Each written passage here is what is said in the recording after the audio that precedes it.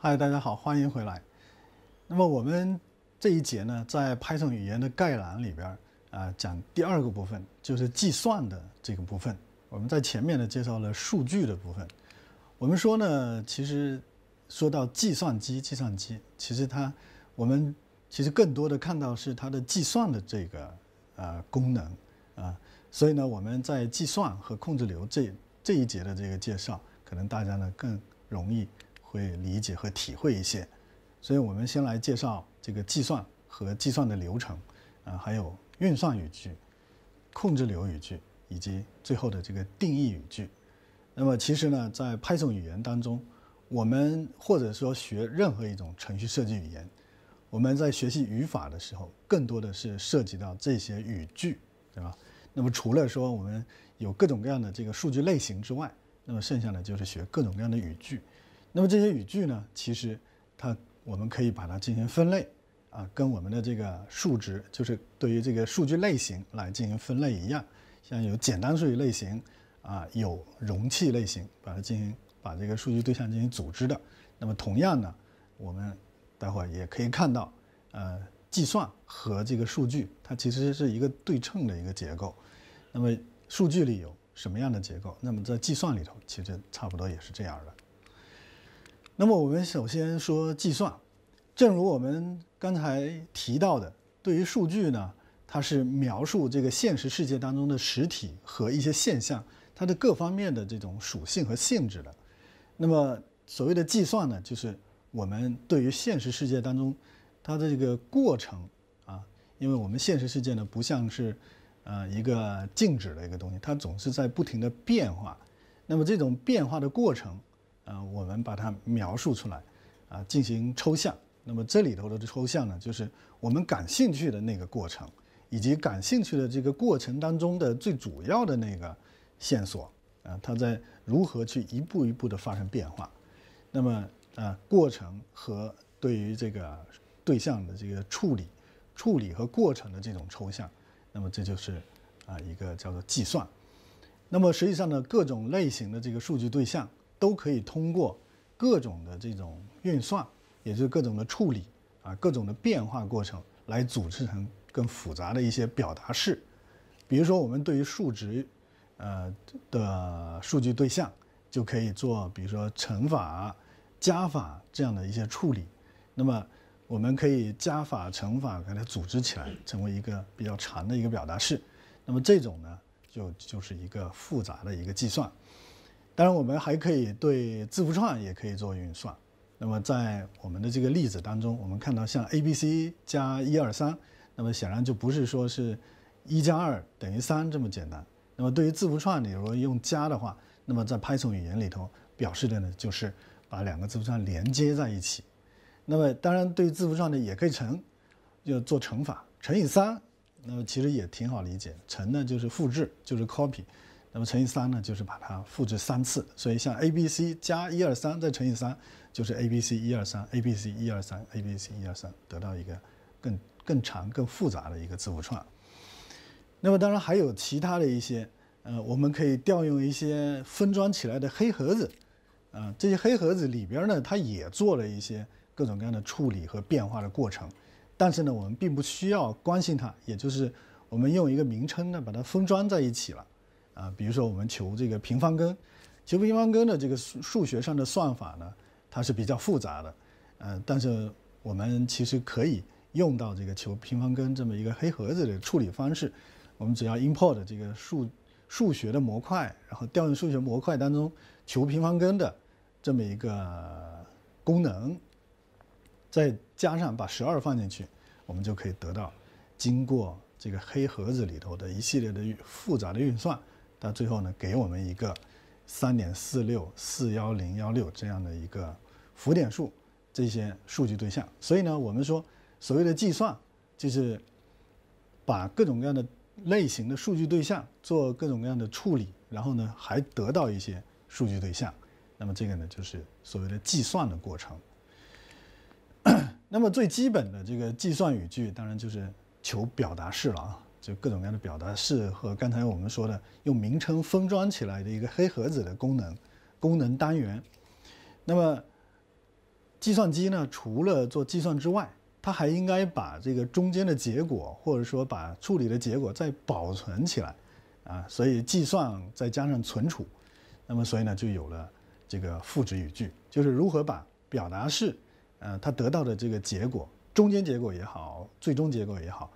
放到一个地方去进行保存，保存完了以后，我们还能够找到它，所以呢，这就叫做赋值。我们把表达式的这个值呢，赋给一个变量进行这个引用。所以呢，赋值语句呢，就是用来实现它的作为表达式啊进行处理，然后呢，赋给一个变量进行暂存。那么，所以这里头包括了表达式计算啊，啊后面介绍到的这个函数调用啊，最终的这个赋值。所以我们从这个例子当中也可以看到，十二乘以三十四，它是一个表达式的计算，然后把计算的这个值赋给了赋值给了 n 这样的一个名称。啊，这个 n 呢，就是成为它的这个表达式计算出来得到结果的一个标签，就是四百零八这个结果啊，贴了一个标签，名字叫做 n 啊。我们将来呢，就可以用 n 来引用这个它的计算结果四百零八。那么第二个也是函数调用，我们从数学模块当中求一个平方根，求二的平方平方根，然后求得了以后，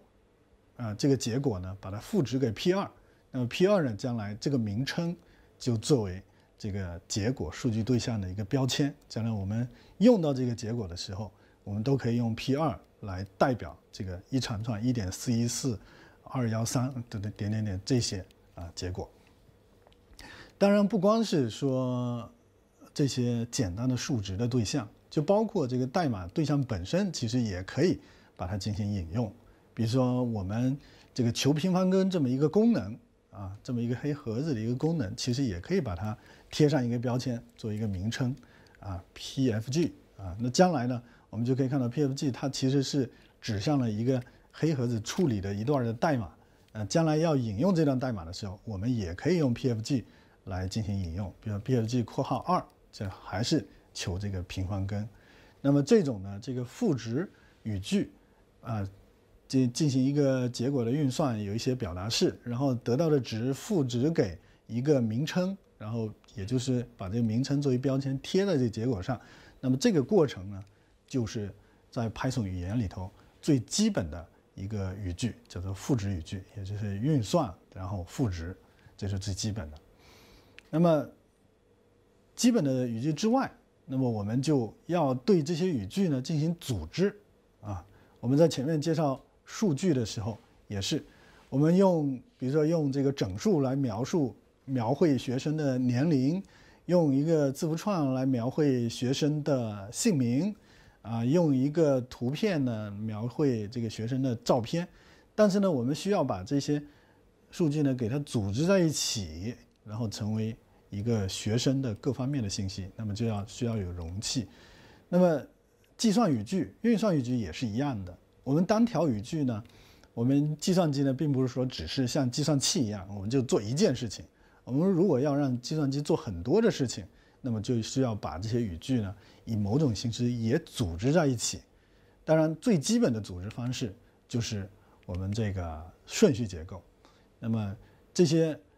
所有的这个组织结构呢，就都统称叫做控制流啊，因为计算机呢，它是受控制的。那么这些控制。呃，成为一个一个执行线索的时候，我们就称作为它叫做一个控制流。所以，控制流语句就用来描绘这个语句组织的这么一个过程。那么，首先最基本的就是所谓的顺序结构，也就是写我们在前面讲 Python 语言的这个特性的时候，其实也讲过，就是语句呢，它是从上往下，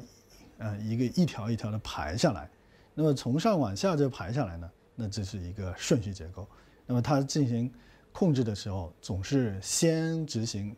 放在上面的，然后呢执行挨着的下一个，再执行挨着下一个，那么这是最基本的控制结构，叫做顺序结构。那么第二种控制结构呢，就是条件分支。那么当你一个一个 A 执行完了以后，碰到了这个 B 语句，就是条件语句，那么它当中呢包含了一个条件。这个条条件呢，就判断如果条件成立，我就是执执行 C；如果条件不成立，就是执行 D。那这样的话，由一个条件来决定你接下来执行的是哪条，那么这就改变了程序的控制流程。那么这种呢是第二种这个控制流，就是条件分支，它会分开。那么第三个呢就是循环。那么不停的重复着做一件事情，是计算机最擅长做的事儿。那么所以呢，我们在对这个程序的控制流进行组织的时候，也必必须有这个循环和重复的结构。那么一般来讲，也是这个图里头所示的，是先做 A 啊，这是，然后顺序呢再看这个 B，B 呢包含了一个条件，如果条件成立的话，那么就执行 C，C 执行完了以后，再回过头来再去看这个条件还成立不成立。如果它仍然成立，那么就反复的执行 C，反复的执行 C。如果等到哪一次啊判断条件不成立了，那么就绕过去执行 C 后边的那些啊。所以这种就叫做循环结构。那么其实所有的这个算法语言、高级语言里头，它基本上都是包括了像顺序、条件和循环这三种结构啊。那么不同的语言当中，其实他们用的这个语言的关键字也都差不多。啊，比如说条件语句一定是 if，然后循环语句呢，呃有呃大部分用 for 啊，也呃也有用 while 都会有用都会用的。那么顺序结构呢，它不需要有特别的这个呃语句，呃来关键字来指定，你只要按照它这个源代码的顺序一个一条条排下去就可以了。那么从这个角度上来看，其实各种程序设计语言都是大同小异。那么接下来还有一种啊一种这个组织的方式，这种组织方式呢，它并不是对于这个控制的流程有什么样的这个改变，那么它是呢啊用来把一系列的这个语句给它集合在一起，给它贴一个标签啊，就是安一个名称，那么这种呢叫做定义语句，那么安装这个名称呢以后。它就能够描述一个包含一系列的这个处理过程的一个计算单元。那么这个计算单元呢，呃，这种这些语句老是经常的放在一起，会被在这个程序的这个地方用，然后程序的另外一个地方还会用到它，啊，再换一个地方还会用到它。如果要经常用到它的话，那么当然我们第一个会想到的是什么？把这些语句，比如说有二十条语句，你把它 copy paste 的一份放到代码的另外一个地方，再 copy paste 的放在。第三个地方，那这个呢带来的坏处在哪儿呢？第一个呢是程序源代码变长了，你去调试它呢特别的不不方便。第二个呢，一旦你这一这二十条语句的功能，呃当中呢有一个地方做了一个小的调整之后，你就要到你的程序的所有的地方都要找到它，都要进行调整。那么这个呢肯定是对于这个效率呢是非常的啊低下的，所以我。在成高级语言当中就引入了一个新的结构，叫做定义语句。那好，如果经常用到这二十五条这个语句的话，那我就把它打包在一起，贴一个标签，给一个名称。那么将来呢，用到这二十多条语句的地方，我就引用这个名称就可以了。那么所以呢，这种叫做源代码的复用。那么我们可以从这个图片当中可以看到，这个我们刚才讲的定义语句。比如 def 这个语句，那么 def 语句呢是用来定义一个代码块，然后给它给一个名称，这个名称呢就叫做函数。比如我们定义了一个 sumList 这个函数，啊，后面括号呢就是参数啊。现在我们不不深入的讲什么是参数，但是总之呢，我们看到在 def 语句下面，从第二行到第五行之间，这四行语句呢，它是在 Df 里边，也就是把这四条语句打了一个包。啊，给个名字叫 sumList，将来在第八行我们要用到这个 sumList 的时候，我们就可以看到这个函数对象的各种各样的属性。那么我们也可以在第十二行啊去调用它啊去调用它。那么所以呢，在将来只要到用到这些啊第二行到第五行的这些代码的时候，我们只需要啊呼唤这个 some list 的这个名称就可以了。这种呼唤呢？在英语里头叫做 call，叫做调用啊。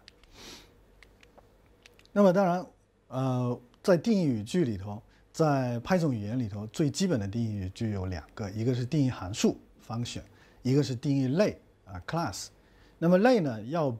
它是一个面向对象的概念，它比函数呢要更加的进一步，它呢可以把啊多个处理同一个这个呃对象实体的这些函数呢给它呃放在一起，还有呢一些属性呢也都放在一起，成为一个封装在一起，然后再贴一个名称。那么这种呢是面向对象的这种方式。那么总的来讲，函数和类呢，它其实都是，呃，相对于我们前面所说的数据对象而言，它们是一种代码对象啊。它它们包含了很许许多多的代码，然后把它封装在一起，给一个名称，这叫代码对象。那么代码对象呢，就可以呼唤它啊，call 啊，就是我们叫做调用它。那么可以调用函数，当然也可以调用类啊，只要是代码对象，我们都可以调用。那么调用呢，啊，可以就可以让它实施，呃，这个对象当中所包含的代码的一系列的处理。那么处理完了以后，它通常呢，它也会返回一个结果的一个数据，它可以得到数据对象。那么 Python 语言当中呢，还有其他的一些这种啊定义语句啊，定义了一些其他的代码对象。那么在 Python 语言里头，把所有的这些啊可以调用的这些代码对象。这些事物呢，都称之为它有个专门的名称，叫做 callable 啊，就是可调用的。那么可调用的，我们目前典型的就包括函数的定义，包括类的定义。那么当然，我们还看到刚才这个函数定义以及第十二行啊，调用这个函数呃的方法是吧？调用函数把一个参数传进去就可以调用它。这个呢，其实我们反复的也看到，跟类似于刚才我们。调用呃导入这个数学模块，然后呢调用这个求平方根的那个例子是一样的。